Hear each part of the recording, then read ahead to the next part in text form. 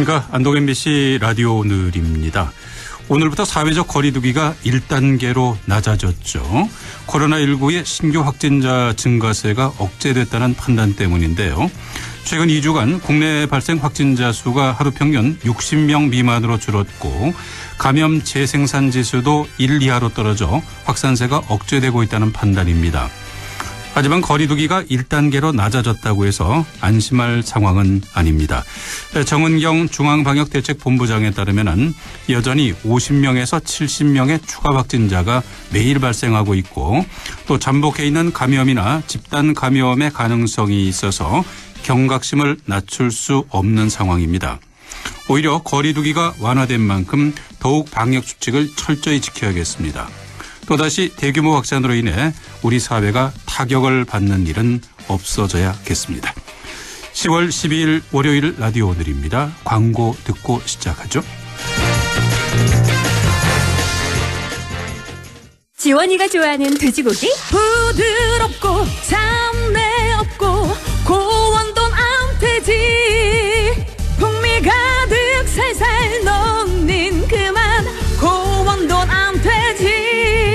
고원돈 암돼지 아니면 안 되지.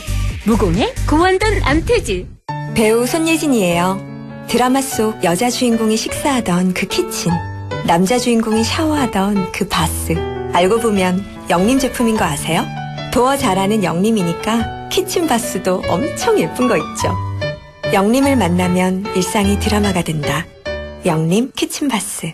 자 따라해보세요 이카운트 ERP 4만원. 회계 관리. 이카운트 ERP 4만원. 재고 관리. 이카운트 ERP 4만원. 생산 관리. 사업 성공. 함께해요. 이카운트. 카운트 ERP의 모든 기능을 월 4만원에 드립니다. 이카운트. 가입비 부가세 별도. 안녕하세요. 이진욱입니다. 누군가에겐 충전이, 누군가에겐 힐링이 필요한 지금. 더욱 새로워진 American 픽업 트럭 콜로라도와 함께 나만의 시간을 가져보세요. powerful한 312 출력, 압도적 공간 활용성, Real New 콜로라도 출시. Welcome to Colorado. Chevrolet find new roads. BBIG, 배터리 바이오 인터넷 게임. BBIG, 배터리 바이오 인터넷 게임. TIGER BBIG, K-뉴딜 ETF. 이름은 길어도 핵심 종목들로만 완벽하게 압축된 ETF가 생겼다. 그런 게 어디? 미래 에셋 TIGER ETF. 원금 손실에 유의하세요. 하고 싶은 거 멈추지 마 좋아하는 거 멈추지 마 관절 내 인생을 멈추지 마 류마스탑 관절에 강력히 흡수되어 염증 stop. 인생은 논스톱 관절엔 류마스탑 부착해요 삼양 바이오팜. 마운티아 윤계상입니다. 입으면 덥고 벗으면 추운 계절. 옷 고를 때마다 어려우시죠? 그렇다고 이 좋은 계절을 마다할 수 없죠. 아침 저녁 쌀쌀할 때마다 가볍고 부드러운 옷이 필요할 때마다 마운티아 플리스. 그럼 나가볼까요? 마음 가는 대로 마운티아. 10월 12일 월요일 라디오 오늘입니다. 1부에서는 건국대 경제학과 최배근 교수와 함께합니다. 경제 이슈를 짚어보는 최백은의 이게 경제다 준비되어 있고요. 2부 이슈 오늘에서는 어, 요즘 대구 경북 행정통합 얘기가 나오고 있지 않습니까? 원점에서 재검토하라는 도의회 요구도 있었죠. 잠시 후 경상북도 의회 권광택 의원을 연결해서 자세한 얘기 나눠보겠습니다. 네, 그리고 안동 MBC 창사 50주년 6.25 전쟁 70주년 특별기획 라디오 드라마 낙동강 전선이 이어집니다. 라디오 오늘 생방송 놓친 분들은 유튜브로 다시 들으실 수 있습니다. 많은 애청 바라겠습니다.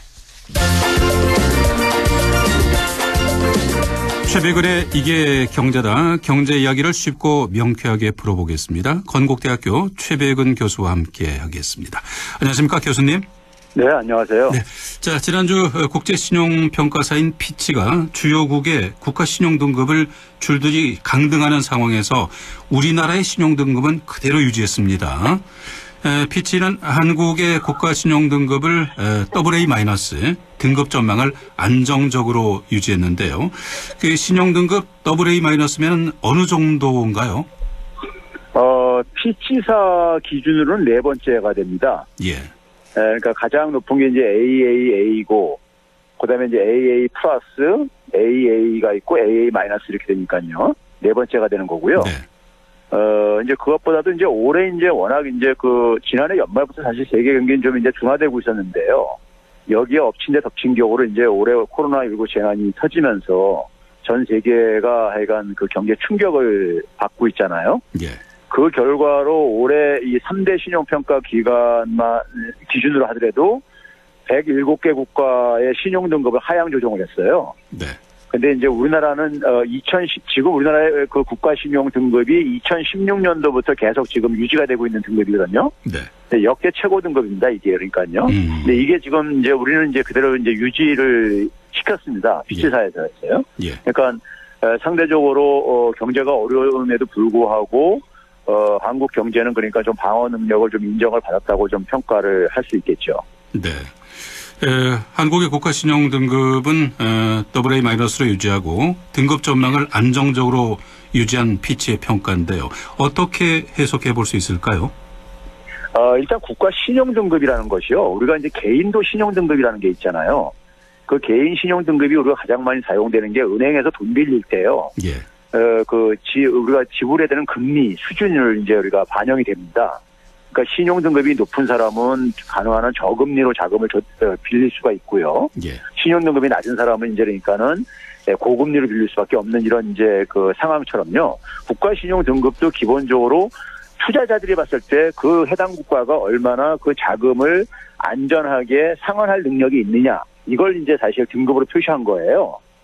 표시한 건데 에, 우리가 지금 얼마 전에 보게 되면은 그 예국한 평형기금 채권이라고 해서 줄여서 외평채라고 그 달러 표시 외평채하고 유로화 표시 외평채를 그 발행을 해가지고 자금을 한 10억 달러 조달한 적이 있었는데 얼마 전에요. 네. 그때 유로화 표시 채권을 마이너스 금리로 우리가 조달을 했었거든요. 음. 예, 이제 그게 결국은 뭐냐면 우리나라에 대해서 굉장히 국가 신용에 대해서 굉장히 긍정적으로 보고 있다는 걸 의미하는 것이고요.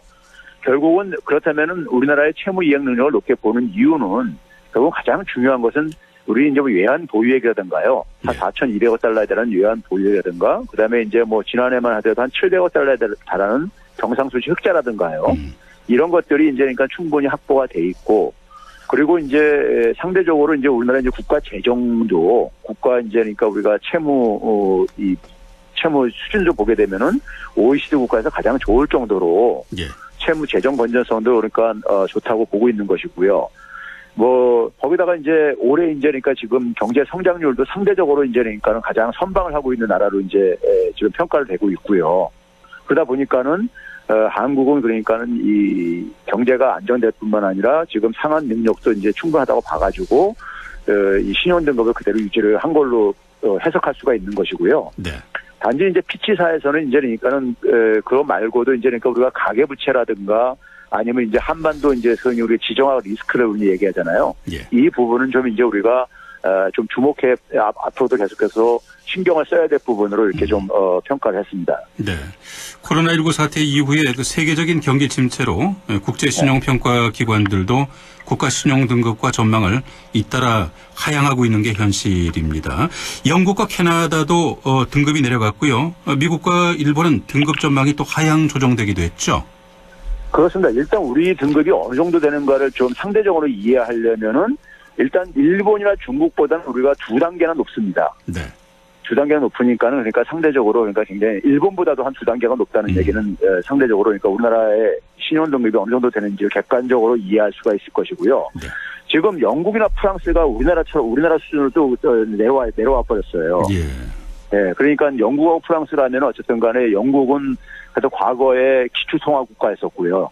달러가 역할을 하기 전에요. 그렇죠. 그리고 어, 프랑스만 하더라도 유로화를 사용하는 국가들의 독일과 더불어서 대표 국가지 않습니까요? 네. 근데도 불구하고 신용 등급을 우리와 같은 수준을 내렸다는 얘기는 에, 상당히 그, 이, 거의 준 기초통화 국가임에도 불구하고, 어, 그들 나라들의 경제적인 에, 지금 상황이 굉장히 안 좋다는 걸 의미하고요. 에, 우리가 지금 유럽에서 그러니까 영국이나 유럽에서 그러니까 2차 재확산으로 인해서 하루에도 만 명 이상씩 확진자가 막 나오고 있- 있듯이요. 프랑스나 영국에서요. 네. 나오고 있다 보니까는 경제 상황이 굉장히 안 좋습니다. 그러다 보니까 에, 재정 투입도 굉장히 증가하고 있고요. 그래서 당연히 그러니까 국가에 그러니까는 이 대외적인 충격이 왔을 때 이것을 수습할 수 있는 능력이 얼마나 있는가 여기에 대한 좀 이제 그러니까 부정적인 평가가 반영된 거라고 해석할 수 있겠습니다. 네. 자, 그런데 피치가 뭐 좋은 점만 얘기한 게 아니고요. 경고한 부분도 있습니다. 고령화로 인한 지출 압력이 높은 상황에서 높은 부채 수준은 재정의 위험 요인이 될 수 있다.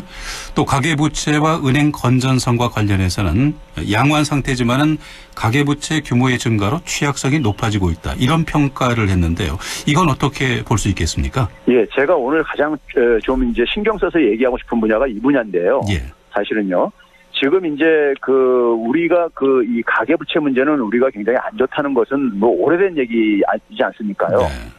근데 이제 이 가계부채 문제가 지금 우리가 뭐 계속해서 우리나라는 지금 고령화가 전 세계에서 가장 빠른 나라 중에 하나이고요. 음. 그러다 보니까 지출은 계속 증가할 수밖에 없는 거고요. 네. 근데 가계부채가 굉장히 높단 말이에요, 우리나라가요.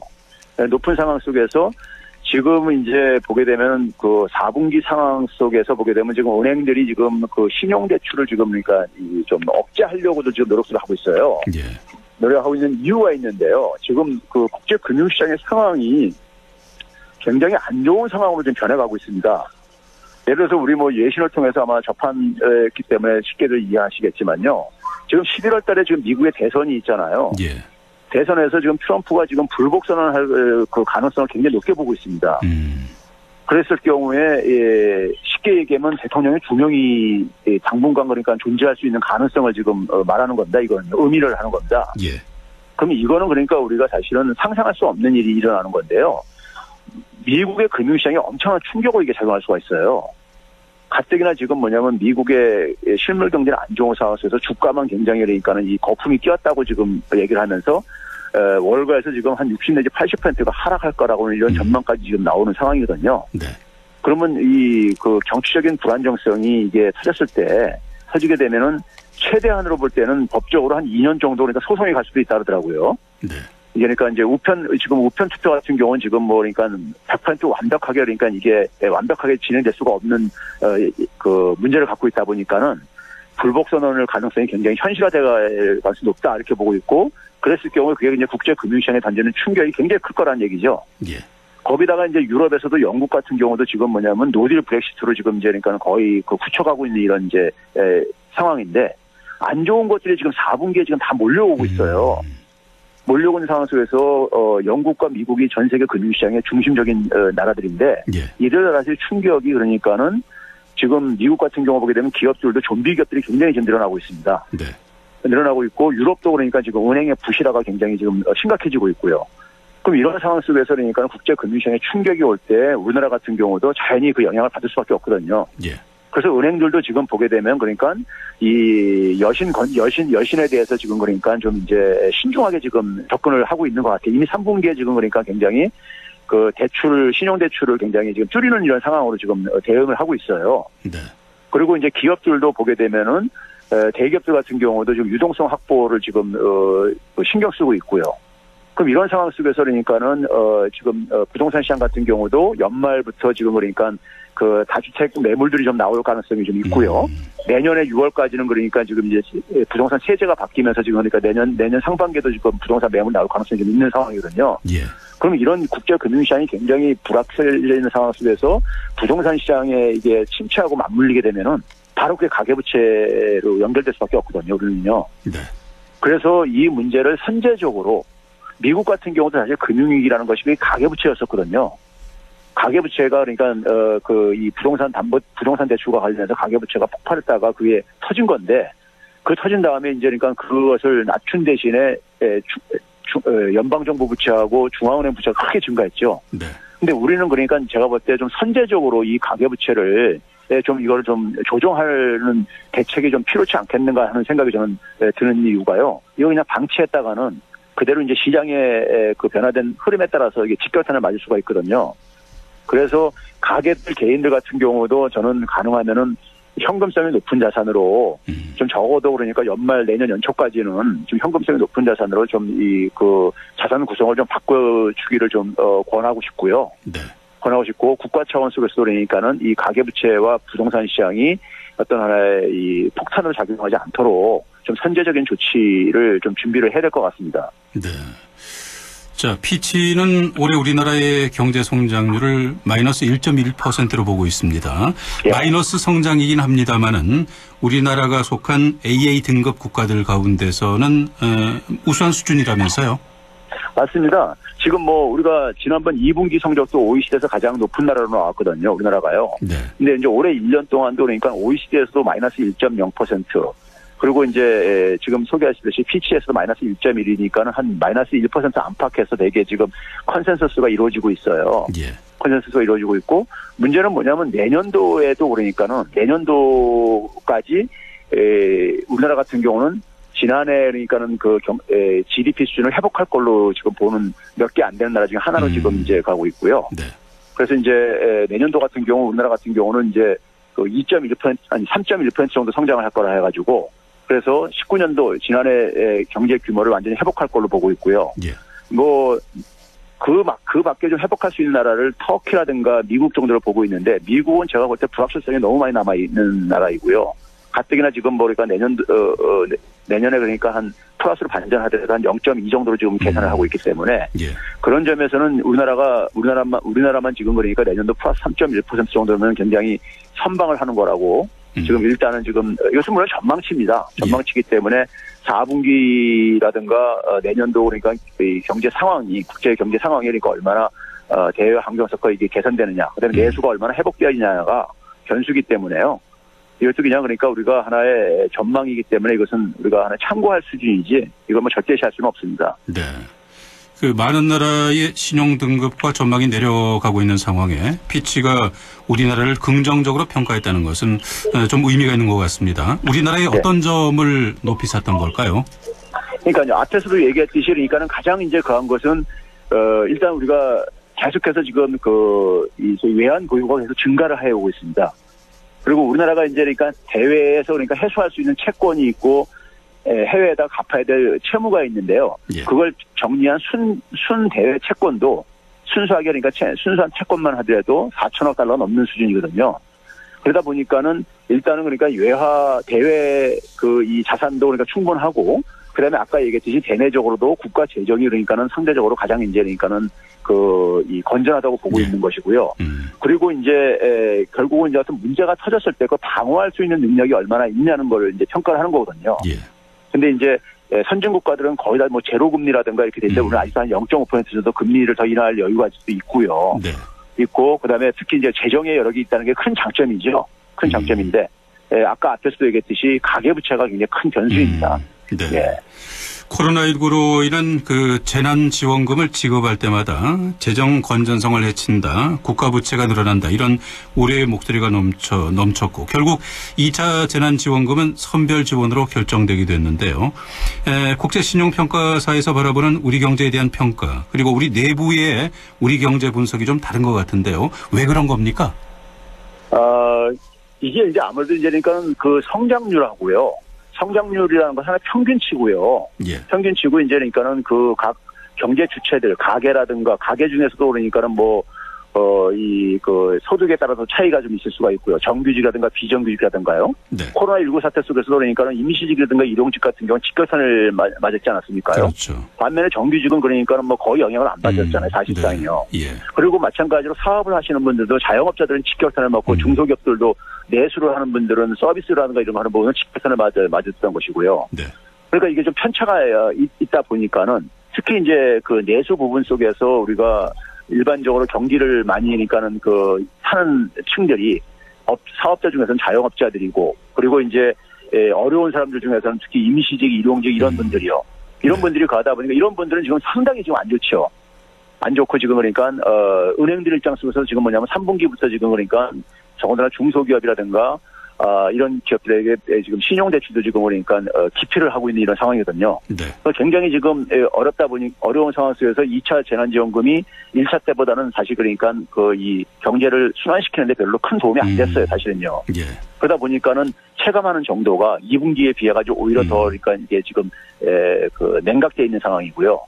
내각제 인사인데 수출이 그러니까 9월달에 잠깐 반짝 반등을 했지만은 어, 아직 아직 근본적으로 우리가 개선되는 어, 조짐을 안 보이고 있기 때문에 네. 그리고 어, 우리나라의 수출 회복에 큰 역할했던 것이 유럽 유럽 시장이었는데 유럽이 지금 2차 확산이 지금 또 이제 락다운 얘기까지도 일부 국가에서 나오는 정도니까요. 네. 그랬을 때 그게 굉장히 그 4분기에 부정적으로 영향을 미칠 가능성도 배제할 수 없거든요. 네. 이제 그런 점에서 4분기는 굉장히 지금 불확실성이 굉장히 많이 지금 이렇게 그 몰려오고 있는 상황입니다.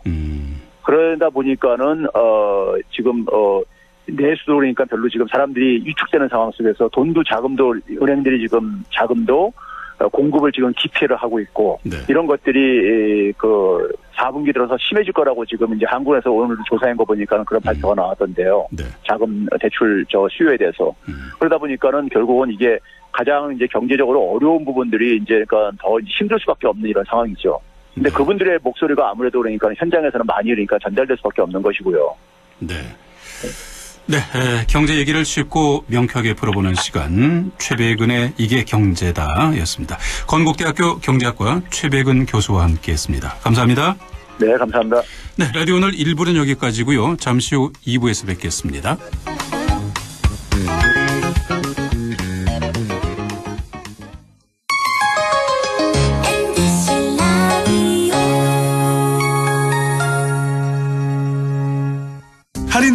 더 실속 있고 편의점보다 더 편리하게 살 수 있는 곳. 시장보다 더 정이 넘치고 백화점보다 더 품격 있는 곳. 이런 곳이 없을까요? 네, 우리 동네 우리 할인점 펀마트가 있습니다. 지난 25년간 항상 고객과 함께한 펀마트. 용상점, 자이점, 신용주점, 사천점에서 새롭게 고객님께 다가갑니다. 펀마트. 선생님, 전 보건의료인이 꿈인데 좋은 고등학교 있나요? 잊고 말고 안동의 보건간호 특성화 학교인 예일 메디텍 고등학교가 있지. 예일 메디텍 고등학교는 남녀공학으로 보건간호과 두개 반을 모집한단다. 남들보다 일찍 준비한다면 너의 꿈에 날개를 단 거지. 예일 메디텍 고등학교. 안녕하세요. 최하정이에요. 함께 만드는 외출 생활 백신. 오늘도 많은 분들이 사연 보내주셨네요. 뒷자리 1339님. 천리길도 빈틈없는 마스크 착용부터. 아이디 회의왕님. 직급 연차 구별 말고 둘 이상은 거리 두자. 저도 하나 준비했어요. 음식은 덜어 먹어야 맛이요. 식기는 따로 써야 맛이다. 어때요? 괜찮았죠? 외출 생활도 안전하게. 우리들의 생활 습관 하나하나가 안전을 지키는 백신 아닐까요? 공익 광고 협의회.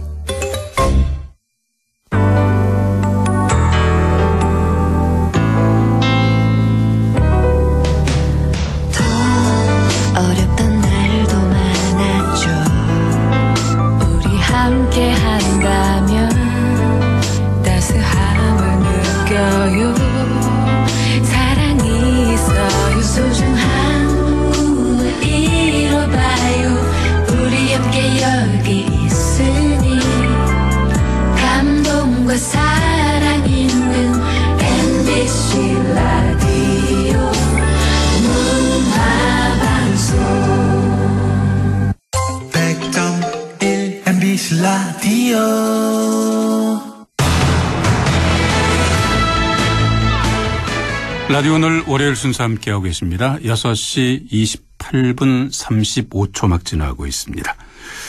자, 2부 순서 이슈 오늘입니다. 대구 경북 행정통합 추진을 둘러싼 논란이 계속되고 있습니다. 지난달 21일 대구 경북 행정통합 공론화위원회가 출범했습니다만은 대구 경북 행정통합은 원점에서 재검토할 필요가 있다는 의견도 나오고 있습니다. 최근 도정 질의를 통해서 이 같은 문제를 제기한 분이죠.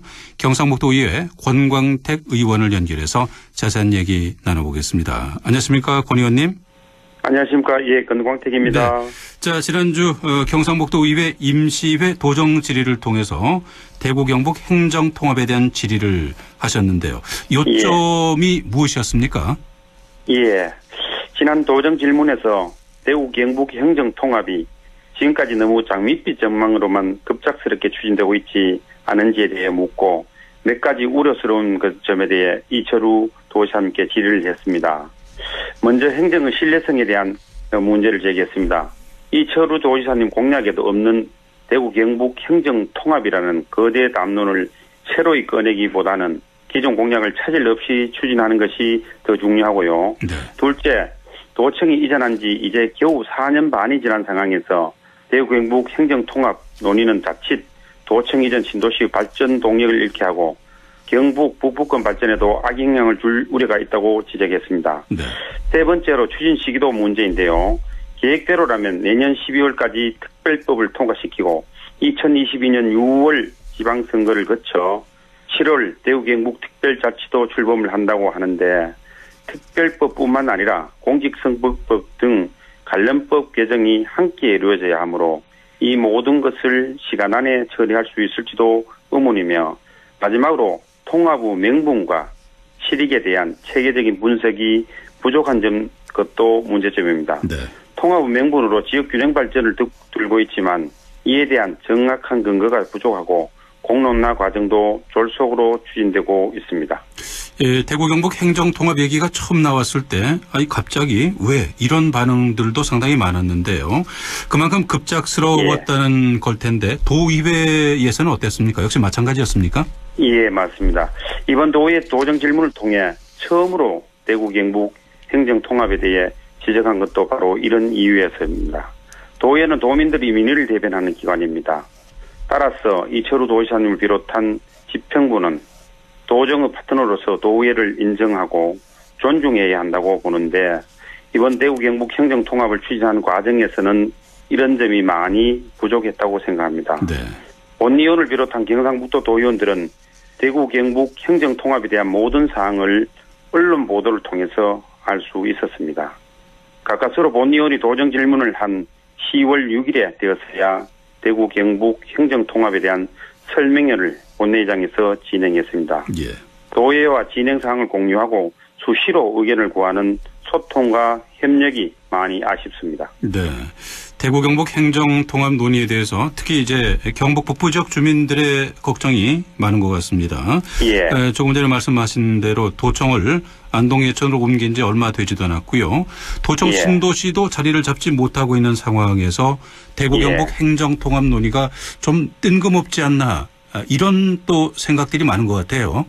예, 맞습니다. 도청은 2008년 6월 이전지가 확정되고 2016년 2월에 대구에서 지금의 자리를 옮겨왔습니다. 이렇게 되기까지 여러 어려움도 많았고 많은 시간도 필요했습니다. 네. 도청이 이전된 지 이제 겨우 4년이 지났는데 또다시 대구 경북 행정 통합을 한다니 도청 신도시 주민들을 포함한 많은 도민들의 우려의 목소리가 높습니다. 경상북도 수장인 이철우 지사님은 도민들을 불안하게 하기보다는 경북 북부권 균형 발전과 균형, 발전, 새로움이 조화되는 경북의 성장 거점 도시라는 비전 아래 조성된 도청 신도시 발전부터 우선 성공시켜야 한다고 봅니다. 그 다음에 대구 경북 행정 통합 논의를 생각해도 늦지 않다고 어, 본 의원은 생각합니다. 네. 대구 경북 행정 통합 공론화 위원회가 9월 21일에 발족해서 활동을 하고 있습니다. 예. 이곳에서는 대구 경북이 대구 경북이 통합된다면은 인구 510만 명의 지역 내 총생산이 165조입니다. 경기와 예. 서울 다음으로 세계 무대에서 직접 경쟁할 수 있는 초광역 지방 정부가 만들어진다. 이렇게 주장하고 있는데 여기에 대해서는 어떻게 보시는지요? 예. 대구 경북 행정 통합 공론화위원회에서 어떤 근거로 그렇게 주장하는지는 잘 모르겠으나 단순히 규모만 크다고 해서 세계 무대에서 경쟁이 생긴다고 보지는 않습니다. 또한 그런 논리라면 수도권을 하나로 통합하면 더 큰 경쟁력을 가지게 되고 결국 국가 전체로도 이익이라는 말이 됩니다. 지방 분권을 논하면서 규모 경제를 말하는 것은 앞뒤가 맞지 않다고 보여집니다. 따라서 단순히 규, 규모만 커지면 다 될 거라는 논리는 문제가 있다고 봅니다. 구체적으로 어떻게 성장시켜 나갈 것인지 분명한 로드맵도 없이 바램만으로 도정에 큰 영향을 줄 이런 문제를 이끌어 나갈 수는 없다고 봅니다. 네. 대구 경북이 통합을 하게 된다면은 글쎄 모두에게 윈윈이 될 수 있을까요? 아니면 대구나 경북 예. 어느 한 곳이 희생하게 되는 결과가 나올 수 있을까요? 의원님은 어떻게 보십니까? 예. 예, 이 질문이 대구 경북 행정 통합을 반대하는 사람들이 가장 우려하는 점일 겁니다. 경북과 대구가 서로 윈윈할 수 있다면 얼마나 좋겠습니까마는 현실적으로 그렇게 되기는 매우 어렵다고 봅니다. 네. 대구시와 구미시는 수년간 치수장 문제로 다툼을 하고 있습니다. 단순히 대구 경북 행정 통합만으로 이런 분쟁이 모두 잘 조정될 수 있다는 것은 순진한 생각이라고 보여집니다. 신공항 이전 문제에서도 알 수 있듯이 같은 경북 안에서도 지역 간 분쟁을 해결하는 것은 상당히 힘든 일입니다. 또한 대구 집중으로 인해 도리어 지방 분권을 제의할 수 있고 이를 우려하는 도민들도 많기 때문에 이 문제는 신중하게 접근해야 한다고 봅니다. 네. 실제로 이미 통합을 한 지자체도 있습니다. 마산과 창원 진해가 통합을 했고요. 2014년에는 청주시와 청원군이 통합을 했습니다. 이 행정구역을 예. 통합한다고 해서 무조건 그 이점만 있는 건 아닌 것 같은데요. 예. 예. 최근 행정통합과 관련한 의미 있는 연구 결과가 나왔습니다. 대한지리학회 해보에 최근 발표된 마산, 창원, 진해의 행정구역 통합 효과라는 논문에서는 당시 주요 통합 효과로 제시되었던 도시 성장과 지역 균형 발전 효과가 없음을 분명히 밝히고 있습니다. 또한 통합 이후 통합시 청사, 새 야구장, 가스 청소소 등 공공시설과 해모시설 입지를 둘러싼 마산, 창원, 진해 지역 간 갈등이 많다고 지적하고 있습니다. 청주시도 최근 충청북도 내 조정교부분 등의 문제로 청주시 특례시 지정을 놓고 타 시군과 갈등을 빚고 있습니다. 광역시도 통합은 아니지만 최근 통합한 시군 사례를 놓고 보아도 통합의 장점보다는 단점이 부각된 사례가 많은데 지금 대구 경북 행정 통합 논의는 너무 장밋빛 전망만을 하고 있는 것은 아닌지 상당히 우려스럽습니다. 네. 대구 경북 통합 논의에 앞서 도청 신도시를 제대로 성장시키기 위해서는 안동과 예천의 통합이 먼저 해결돼야 된다. 이런 주장도 지금 나오고 있습니다. 어떻게 보십니까? 예, 예. 예. 도청 신도시는 행정구역상 안동시 풍천면과 예천군 호명면에 걸쳐 조성되어 있습니다. 일각에서는 행정구역 이원화로 여러 가지 문제가 발생하고 있기 때문에 안동과 예천의 통합을 해야 한다는 목소리가 높습니다. 그러나 어떠한 의견이나 주장도 주민의 동의를 얻지 못한다면 성사되기 어렵다고 봅니다. 따라서 안동시와 예천군의 통합 문제도 경상북도, 안동시, 예천군 및 도시, 도시군의회가 서로 협력하고 주민들의 의견을 충분히 수렴하는 등 시간을 가지고 진행해야 하는 문제라고 생각합니다. 네. 에, 대구 경북 행정 통합 논의가 올바르게 진행되려면 어떤 전제 조건이 필요하다고 보십니까? 예. 먼저 논의가 투명하게 이루어져야 합니다. 대구 경북 행정 통합은 도민의 삶에 밀접한 중요한 문제입니다. 따라서 통합에 따른 낙관적인 전망만 내세울 것이 아니라 통합 사례와 결과, 통합에 따른 약점, 기회, 위협 요인도 함께 도민에게 충분히 설명하고 도민들 스스로 판단할 수 있게 해야 합니다. 그리고 도의회와 충분한 논의를 거쳐야 합니다. 지금까지 진행 사항을 보면 대구 경북 행정통합 공론화위원회 구성 등 모든 과정에서 집행부가 일방적으로 진행하고 있다는 의심을 할 수밖에 없습니다. 앞으로는 이 문제에 대한 진행 상황을 도의회와 함께 논의하고 고민하는 과정이 반드시 필요하다고 생각합니다. 네. 하여튼 투명한 논의가 선결돼야 되고 의회와 충분한 논의가 필요하다 이런 말씀이시군요. 예, 예, 예. 예. 에, 이슈 오늘 에, 오늘은 대구 경북 행정 통합에 관한 얘기를 들어봤습니다. 경상북도 의회 권광택 의원과 함께했습니다. 감사합니다. 예, 고맙습니다. 네, 계속해서 날씨와 행사 알아보겠습니다. 김도연 씨. 네, 코로나19의 긴 장마에 계절감을 느껴볼 수 없이 올해는 유난히 빨리 지나는 것 같은데요. 오늘 오후부터는 또 북서쪽에서 찬 공기가 내려오고 있습니다. 공기가 더 차가워지는 만큼 감기 걸리지 않도록 조심하셔야겠고요. 변덕스러운 기온 변화에 대비해서 건강관리 또 농작물 관리도 잘해주시기 바랍니다. 찬바람의 기온이 좀 떨어지면서 내일 아침에는 안동이 9도 정도 등 오늘 아침보다 2, 3도 가량 더 내려가면서 쌀쌀함을 느끼겠습니다. 이번 주에는 낮 기온도 20도 아래로 머물면서 지난주와 비교해서 공기가 한층 더 차갑게 느껴집니다. 중국 북부지방에서 확산하는 고기압 영향을 받아서 하늘빛은 점점 맑아지겠는데요. 하지만 당분간 맑은 날씨가 계속되면서 대기가 차차 건조해지겠습니다. 단풍철에 산불 등 불이 나지 않도록 화재 예방에도 신경 쓰시기 바랍니다. 내일 기온은 문경, 영주, 봉화 아침이 7도로 시작해서 한낮에 19도까지 올라갑니다. 안동, 상주는 8도에서 20도 분포 예상되고요. 의성, 영양, 청송, 예천은 아침이 7도, 한낮에 21도 남아 있습니다. 봉화 현재 기온은 어제 이 시간보다 1도 높은 16도, 체감 온도는 16.6도, 습도는 59%입니다. 날씨였습니다.